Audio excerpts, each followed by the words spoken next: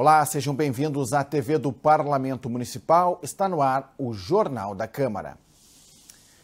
Na abertura do JC de hoje, vamos conversar com o vice-presidente do Sindicato da Hospedagem e Alimentação de Porto Alegre, Sandro Zanetti. Vamos falar sobre o impacto da enchente para o setor. Vice-presidente, vai aparecer aqui na tela. Como é que está o senhor? Modo de dizer, tudo bem, né? Força do hábito, né? Tudo, tudo bem. Como é que tá, Clayton? Prazer aí falar contigo. Poder colocar aí um pouquinho para vocês de como é que está a situação do, do nosso setor na cidade aí de Porto Alegre. A gente que agradece, obrigado pela gentileza aí, presidente, de nos receber. Falar um pouquinho, presidente, para quem não está uh, ah, familiarizado né, com, com, com, esta sigla, né, que é o SINDA, né? Fala um pouquinho para a gente, até para a gente introduzir o nosso bate-papo aqui. O que, que, congrega o SINDA, né? Qual é o universo né, de trabalhadores, de empresas né, uhum. né, que congregam o sindicato? Bom, hoje é o Sindicato da Hospedagem e Alimentação de Porto Alegre, né? Uh, uh, e região, a gente atua até a região ali de São Leopoldo, né? Isso na parte da gastronomia e na parte da hotelaria uh, fica somente na região de Porto Alegre, tá? E, então nós representamos todas as empresas, desde bares, restaurantes, hotéis, motéis, cafeterias, né? Todas essas empresas uh, voltadas para este ramo. Certo. Presidente, é um universo bem grande né, de, de, de trabalhadores, de, de, de, empresas né, nesse, ne, eh, congregadas ao sindicato. Né? Qual o tamanho, né, o universo? Né? Estamos falando de quantos trabalhadores, sim, por exemplo? Né? De empresas, nós estamos falando mais de 5 mil empresas. Né? Uh, se não me engano, Rio Grande do Sul, mais de, de 120 mil trabalhadores aí Rio Grande do Sul, né? Uh, a maioria das empresas do nosso setor da hotelaria elas se enquadram no regime tributário no simples, né? Uh, e, e, e, e, o simples ao qual enquadra toda nossas a maioria das nossas empresas aí, né? Uh, não mais ou menos importante de, do enquadramento de cada uma, mas as empresas a nível nacional eh, representam, só para ter uma ideia, todas essas empresas de pequeno porte que, que, que, que, que os, todos os 67 setores produtivos são responsáveis por 30% eh, dos empregos a nível nacional. E essa média uh, no Rio Grande do Sul ela, ela é muito similar, em torno de 28% dos empregos uh, no, no, Rio Grande do Sul são relacionados às empresas que estão nesse enquadramento simples e ao qual o nosso setor faz parte também. Nossa, é um universo bem grande, né, presidente? Extremamente Sim. importante né, para a economia do Estado. Presidente, como é que foi o impacto né, dessa enchente aí, né? Como é que foi o impacto dessa inundação, especialmente aqui olhando para Porto Alegre, evidentemente, né, que praticamente todo o Rio Grande do Sul foi afetado de alguma forma. Mas aqui para Porto Alegre, né, o tamanho desse prejuízo aí, presidente? É, a gente teve 1.800 empresas alagadas em Porto Alegre e na Grande Porto Alegre, né? Uh, empresas de alimentação e 37 hotéis em Porto Alegre né, foram alagados. E aí depois a gente teve também os que foram afetados indiretamente. Porque o que aconteceu? Teve as empresas que alagaram, estão fechadas ainda, algumas estão em fase de limpeza e re reestruturação, né? As empresas então tiveram perdas materiais uh, uh, e financeiras. E teve aquelas que foram afetadas indiretamente, uh, que são as empresas que estão localizadas em bairros que não foram alagados, né? mas tiveram queda em torno de 60% de venda, né? Algumas, inclusive, reduziram o horário, começaram a fechar mais cedo uh, foram muitos bairros importantes, né, bairros com, com, uma, com muita vida, assim, com muita atividade econômica, uh, que ficaram além de alagados sem luz. Então, não tinha ônibus, as pessoas não tinham como ir embora. Então, acho que o próprio gaúcho, né, a sociedade civil também não estava muito com um astral e com a moral de sair para jantar, enfim. Então, realmente, ficou aberto por necessidade e até com a intenção de prestar um serviço para a sociedade, eh, mas uh, indiretamente essas, empresas também perderam aí uma, uma, uma, uma queda muito venda, uma, queda muito grande nas suas vendas. Esse é um ponto importante, né, presidente, que o senhor coloca, né, porque muitas vezes algumas das empresas não foram afetadas diretamente, não tiveram, é, as águas não chegaram, né, é, assim como chegou em outros, outros, outros estabelecimentos, mas as pessoas ficaram mais restritas, né, até com medo, o próprio clima, né, como o senhor colocou, né, de, de, de não sair, enfim, né, isso se refletiu e ainda, ah, de alguma forma, se reflete no setor, né, presidente? Isso, isso também tem, tem essa questão é importante que o senhor coloca, né? Sim, porque a, a gente precisa pegar Porto Alegre e, e, fazer uma divisão, assim, por bairros, né? Uh, não dá para fazer uma avaliação de, de, de, toda a cidade. O setor hoje ele se divide. O nosso setor que estava no quarto distrito, uh, que estava lá perto da Fiergues, né, no, no, Sarandi, ou seja, nos bairros aqui, não retomou ainda. Né? Agora, esses setor, os setores que perderam venda, uh, shopping center que tem uma localização diferenciada, né, que não foi atingido, já tem uma melhora. Tá? Eu não sei te dizer um percentual, mas a gente nota que já está tendo uma, digamos, uma, uma retomada no movimento. Né? Certo.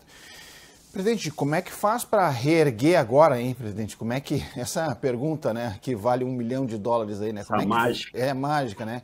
Como é que faz para retomar, né, presidente, todo o setor, né, que vinha, evidentemente, recuperando ainda, né, da, da, do processo da, da pandemia, né, que foi também um setor bastante afetado.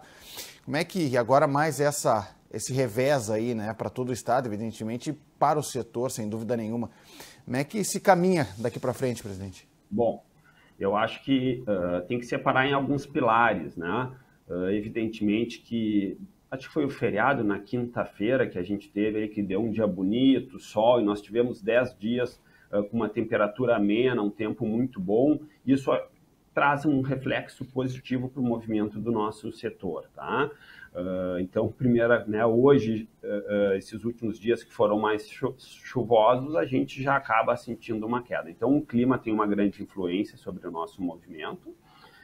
o aeroporto de Porto Alegre, o setor de eventos, essas atividades que direta ou indiretamente nos afetam os hotéis, né? Porque imagina uma cidade como Porto Alegre tendo eventos remarcados, enfim, eh, para outubro, novembro ou dezembro, porque a gente não tem a data do aeroporto ainda de retomada. A própria rodoviária é muito importante, traz um fluxo, os acessos a Porto Alegre, né? Então, digamos assim, fatores externos também acabam influenciando. E a gente não consegue nem se planejar porque a gente não tem as respostas ainda para poder fazer um planejamento. Então, é dia a dia.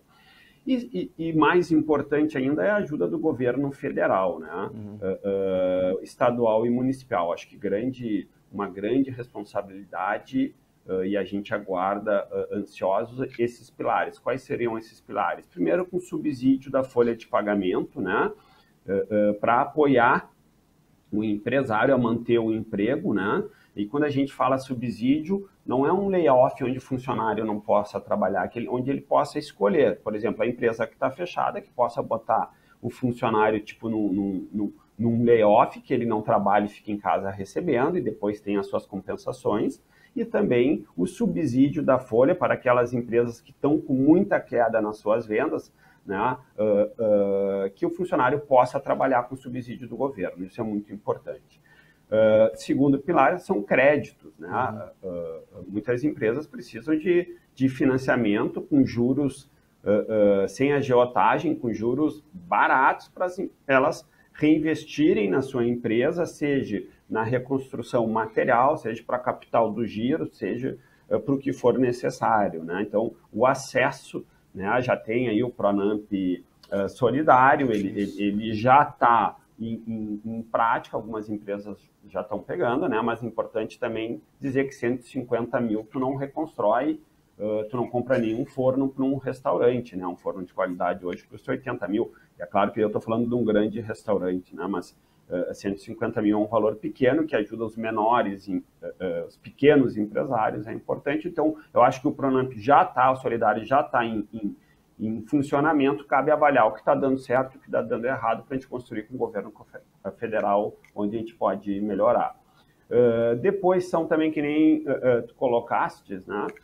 nós temos, o setor vinha se recuperando da pandemia, muitas empresas, elas pegaram crédito na pandemia e elas ainda estão com esses créditos a pagar, né? Então isso gera um, um, um, percentual muito grande no seu fluxo, no fluxo de caixa das empresas. Então é muito importante que os bancos que pertencem, né? Que geralmente quem fez para esses empréstimos foram os bancos que têm relação com o governo, o Banco do uhum. Brasil ou Caixa, em parte um pouco do Banrisul, né? Então é, é muito importante dizer que precisa ser feita uma pausa, assim chamamos, nessas prestações de financiamento, recolocar 12 meses para frente para as empresas também ganharem uh, no seu fluxo de caixa.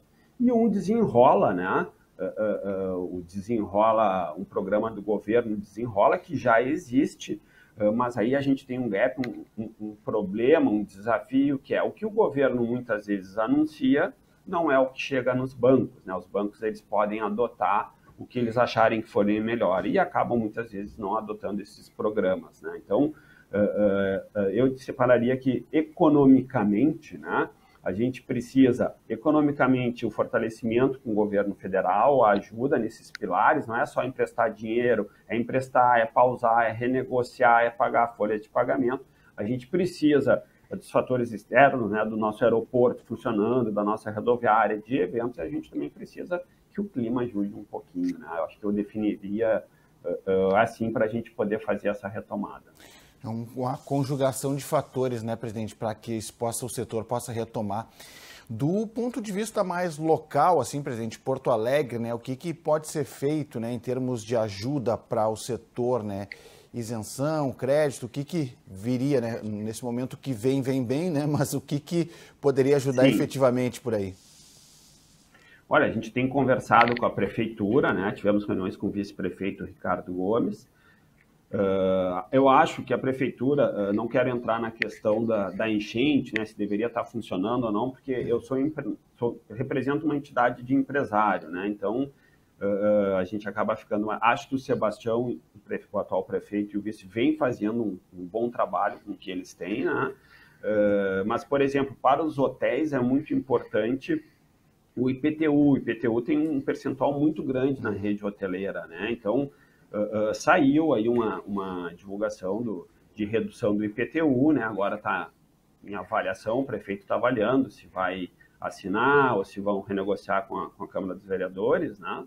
Uh, mas é muito importante, isenção de tributo sempre é bem vista, bem vista, ainda mais nesse momento, né? Então, eu acredito, e além da reconstrução, a velocidade da reconstrução que, que se dá na cidade, né? Reconstruir uma orla rapidamente, manter a cidade limpa o mais rápido possível que der. Isso eh, gera fluxo para nós, né? Então, eu acho que isso, esses três pontos são muito, muito importantes. Né? Certo.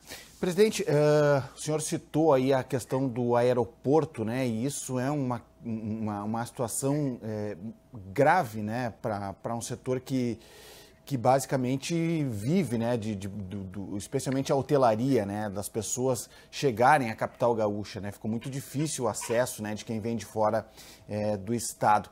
Uh, acrescentando a isso, né, nós tivemos também os dois estádios afetados, né? Então a, a, dupla Grenal com jogos internacionais também nas suas competições, nas suas copas, né? Também era um fator de que de público, né? Chegando à capital gaúcha. Eh, tem a perspectiva do, do Beira-Rio voltar em julho, né, que é uma boa notícia.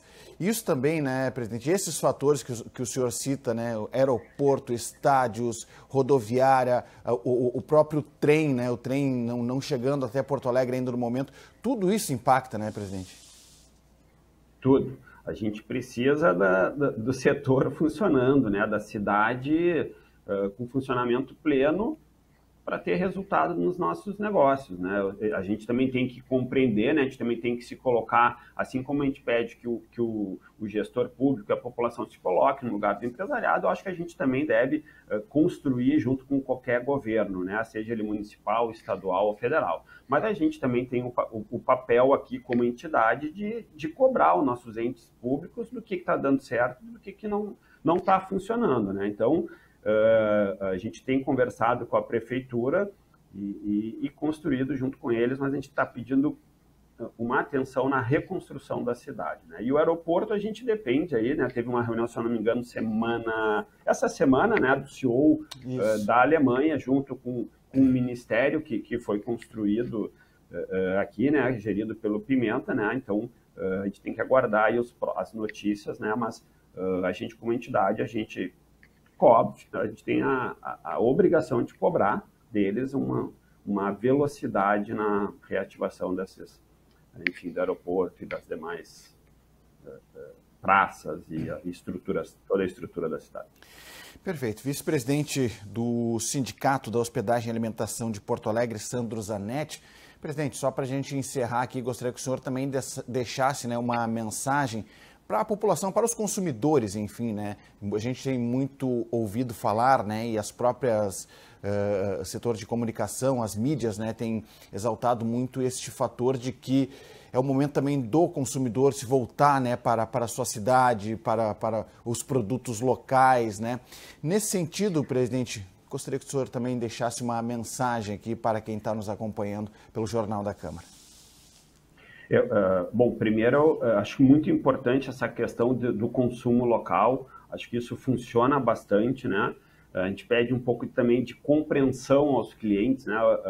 O, o, pessoal não, não, não consegue enxergar, assim, por exemplo, muitos terceiros foram afetados, né? A gente não conseguia, até 15 dias atrás, comprar refrigerante, só comprando pallet fechado, então, a operacionalização de um restaurante né, se tornou muito complexa.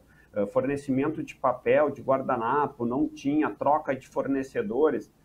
Uh, uh, foi assim, fazer a cadeia funcionar tem sido ainda um, funcionar normalmente um desafio, sem levar em conta que os insumos tiveram um aumento, né? Isso. Então, além de toda a dificuldade, os insumos ainda sofreram um aumento. Então, imagina fazer gestão de estoque. E não menos importante, inclusive mais importante também, nós tivemos colaboradores uh, uh, com as suas casas uh, alagadas, né? E, e, até empresários que tiveram suas casas alagadas. como cobrar de um colaborador que ele vá trabalhar tendo um parente, né? Sem perdendo tudo que foi construído, né? Assim como nós empresários perdemos tu, muitas coisas, né? Nós tivemos colaboradores que perderam e, e foram atingidos, né? Então é, é muito, muito importante um pouquinho de compreensão, né? É, resistência, força e, e união nesse momento. Não é um momento de ficar uh, uh, falando sobre política e sim de como reconstruir a nossa sociedade civil da melhor maneira possível. Muito bem, tá aí, está dado o recado. Presidente, muito obrigado pela participação do senhor aqui no Jornal da Câmara. Desejar ao senhor aí e a todos que fazem esse setor forte aqui da nossa economia muita sorte, muita força, né? E que esse segmento possa se restabelecer o quanto antes, né? Para o bem de todos nós, né, presidente? Para que a gente possa ter aí os empregos garantidos e a, fazer a roda girar novamente como ela tem que ser, né, presidente? Muito obrigado, bom trabalho para o senhor. Eu que agradeço, um, um bom trabalho aí para vocês e qualquer coisa que precisar, o sindicato sim ainda está à disposição aí, é só chamar. Um abraço. Um abraço, muito obrigado, presidente. Muito bem, nós seguimos agora com o informações do Legislativo aqui no Jornal da Câmara, pois o presidente do Parlamento, vereador Mauro Pinheiro do Progressistas, acompanhou o anúncio por parte do Executivo de medidas do programa de estadia solidária. O anúncio da nova fase do programa Estadia Solidária aconteceu na última sexta-feira no auditório do Departamento Municipal de Habitação. O programa pagará um auxílio humanitário de até 12 parcelas de mil reais para famílias que tiveram de sair de casa em razão de calamidade pública, como a enchente do mês passado, e que precisam ficar provisoriamente em abrigos ou casas de amigos ou familiares. O Estadia Solidária foi criado em setembro de 2023 pela Prefeitura com da Câmara Municipal. O valor inicial era de 700 reais. No final de maio deste ano, o Legislativo aprovou um pedido do Executivo para elevar o montante para mil reais, sendo que 600 são custeados pelo município e 400 pelo governo do estado. Conforme o prefeito Sebastião Melo, cerca de 20 mil residências foram afetadas pela enchente. O chefe do executivo afirmou que cerca de 1.500 famílias já receberam a primeira parcela e que quase 4 mil estão aptas a participar do programa. Nosso, nossos dados das camadas fotografadas dão conta de 9 mil perdas de casas em Porto Alegre e 11 mil danificadas, que às vezes pode ser mais ou menos, né? Bom, nós fizemos um corte nessa, nesse programa do Governo do Estado de meio salário mínimo, que é a nossa parceria. Sendo o corte meio salário mínimo, deu quase 4 mil famílias neste corte. A gente fez o sistema de WhatsApp porque tem que dar um aceito. Eu não posso depositar dinheiro sem ter um documento de aceito, mas olha, eu estou desabrigado e eu preciso desse dinheiro. Dinheiro público eu preciso prestar conta. Então, nesse primeiro momento, 1.400 aceitaram e tem mais 900 já em fase. A gente parte da boa fé, senão tu teria que fazer vistorias né, anteriores a, a depositar o dinheiro. E depois nós temos um sistema de monitoramento para dizer, bom, você continua morando, não morando, porque esse dinheiro é exatamente para isso, né? Então, daqui a três meses a pessoa voltou para algum lugar ou foi comprado um imóvel. Então, assim, a gente vai, a gente desburocratizou e partiu da boa fé e também depositar mensalmente, porque isso tem um, né, tem um critério. Estão depositando para você pagar, está depositado na conta da pessoa. Né? Embora tenha admitido que cerca de 33 mil famílias da capital já receberam auxílio reconstrução do governo federal, Melo cobrou mais apoio da União.